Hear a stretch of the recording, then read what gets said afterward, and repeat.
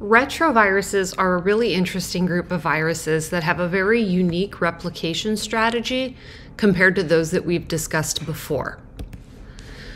Retroviruses are enveloped positive sense strand RNA viruses. And hopefully you're going, yeah, we've talked about those before. That's not very unique.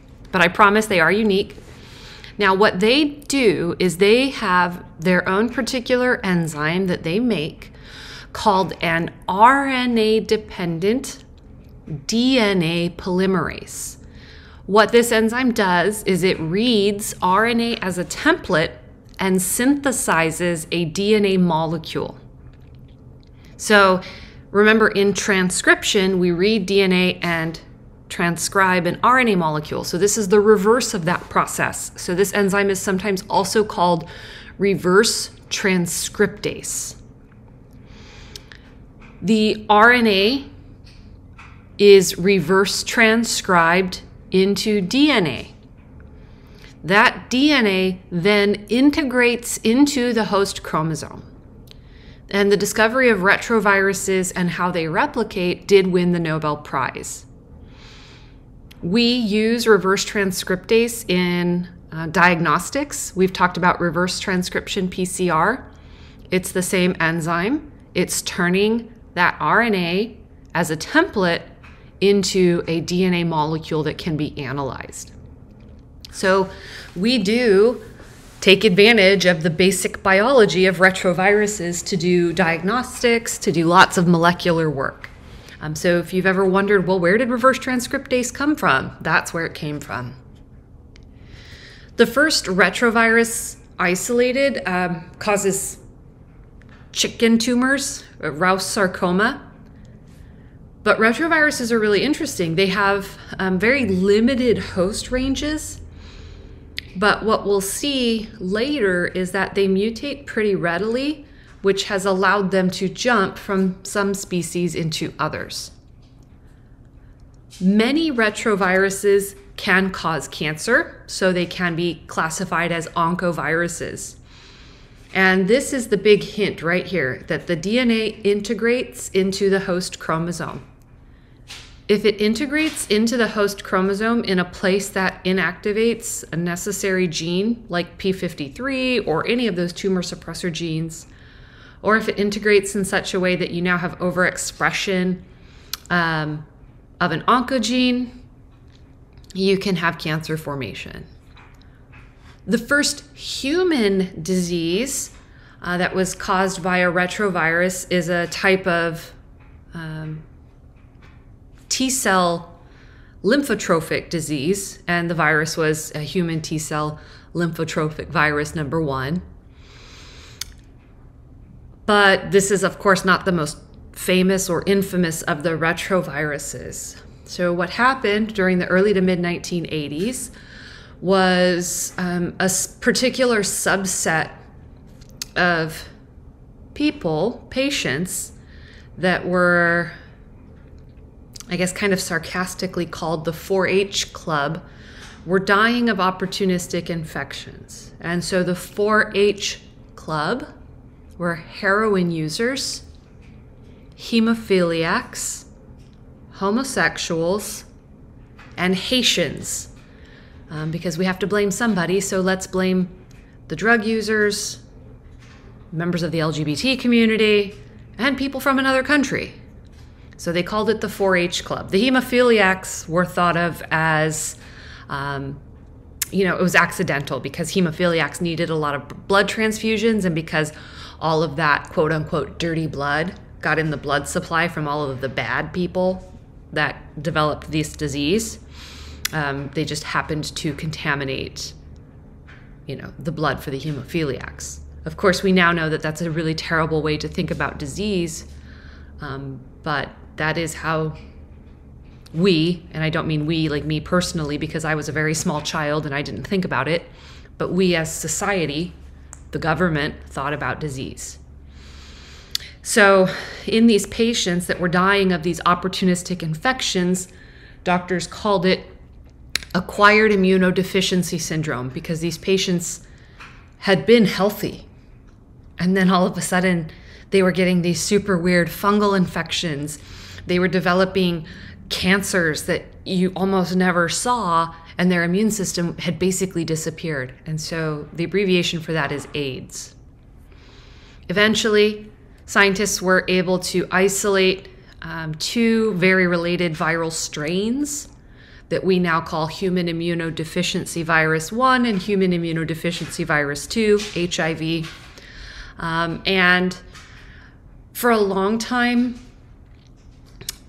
people thought that the jump from primates to people happened really close to the 1980s because that's when we really saw the boom of patients but a lot of genetic work, a lot of you know phylogenetic analysis demonstrated that humans most likely acquired the infection from uh, chimpanzees or sooty I don't know how to pronounce that mangabeys, uh, another type of primate. Um, in the early 20th century. Um, so these primates get a virus called simian immunodeficiency virus. And so it's thought really through the consumption of what's called bush meat. So just whatever you know you're able to catch and eat. Uh, so people who are catching and eating um, primates, and so it's now pretty widely accepted that HIV got into people uh, in the 1920s in uh, Kinshasa, which is part of now is like the Democratic Republic of Congo. There are other retroviruses that we do see in people um, and other animals. They're called endogenous retroviruses that have integrated into our chromosome and been maintained throughout our evolutionary history. And it's estimated that, you know, these remnants of our previous viral infections make up up to 8% of our genome. And there are other animals that have them as well. So the, the example I'm thinking of is pigs pigs have them. And these endogenous retroviruses in different species, so human versus pig, actually are one of the really important complicating factors for why, um, as of right now, you can't transplant pig organs into people. So, yes, of course, the human immune system will recognize pig cells and be like, oh, that's not one of ours.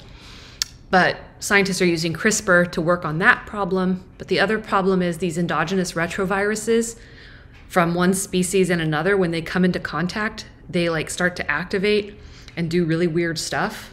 So in order to transplant a pig organ into a person, you'd have to remove all of the pig retroviruses and all of the pig cell immune markers. And so scientists are using CRISPR to try to make pigs that can be used to transplant organs into people basically by eliminating, at least in part, eliminating all of these endogenous retroviruses in the pig. In the group of retroviruses, there are three subfamilies. Um, there are some that are the oncovirinae. These are the ones that are more likely to cause cancer. There's the lentivirinae. That's where HIV is. Um, these, sometimes called lentiviruses, uh, don't usually cause cancer. They can make you more susceptible to certain kinds of cancer, but they don't usually cause cancer. Um, and then there's the spumavirinae, which causes um, a disease called human foamy virus. It doesn't really seem to have any effect on the body, but it makes macrophages look like they have big vacuoles in them. So your oncovirinae, uh, your lentivirinae, and your spumavirinae, and then of course all of your endogenous retroviruses. So no known clinical disease, but foamy, like vacuolated uh, cytopathology, the lentivirinae, slow onset of disease, neurological disorders and immune suppression, HIV, um, viruses in other animals, and then your oncovirinae. Um, so your human T cell lymphotrophic virus, your Rous sarcoma virus in chickens, etc. So the retroviruses are classified by the type of disease they cause, their tissue tropism, their host range, their morphology, and their complexity. And like I mentioned, the oncovirinae are really only the ones that can transform cells or turn them into cancer. The lentivirinae are the ones that are associated with what we think of as, as AIDS. So because they have this really unique type of replication. They have to have their own reverse transcriptase. They generally carry it with them. So you can see that kind of, they're trying to illustrate it here in this diagram of the virion. Um, here's the RNA, and it has this reverse transcriptase protein that it made in its previous cell and carries with it so that when it infects the new cell, um, it can not only begin transcription, but it can also reverse transcribe its RNA to be integrated into uh, the host DNA. The genetics are not very complex. The genome is only about 9,000 kilobases, or I'm sorry, 9,000 bases or 9 kilobases. Um, and there are only a handful of proteins. So, as I mentioned, the virus will get into the cell um, we'll talk about the receptors in just a minute. This is, I think, trying to show you um, a couple of different ones, but I think this one is supposed to be HIV. This might be a different one. Um, so they get in, release their genomic RNA. The RNA is reverse transcribed into DNA, um, which at first is linear. It then circularizes, goes into the nucleus, and then integrates um, into the host chromosome. So the virus also makes its own enzyme called integrase that allows for that integration to occur. Then, once the viral genetic material, so the DNA that represents the viral genome, has been integrated into the host chromosome, it can then be transcribed um, and exported from the nucleus, where some of it can serve as the genetic material for new virions, and some of it can serve as the template for protein synthesis. So I want you to really think about this and kind of think about some of the unique features I've talked about and how those could potentially be exploited as retroviral treatments.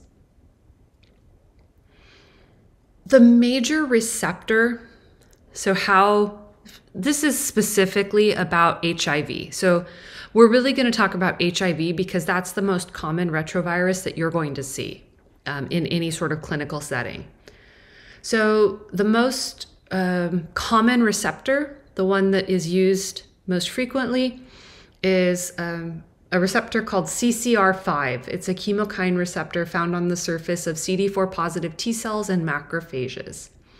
So, what they're trying to show in this cartoon is that uh, you know you first have the recognition of the host cell by the HIV virion. Um, it uses a protein called GP120 to recognize the CD4 molecule on the surface of the cell. Um, and then it can interact uh, with the chemokine receptor as well. So they're like co receptors. And then you get the entry of the virus into the host cell. In a later stage of infection, uh, they could use a different uh, receptor called CXCR4. But again, we're primarily talking about CCR5.